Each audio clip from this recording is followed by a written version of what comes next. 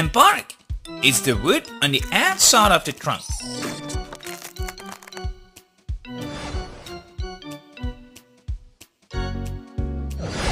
It protects the trunk from the bugs and insects.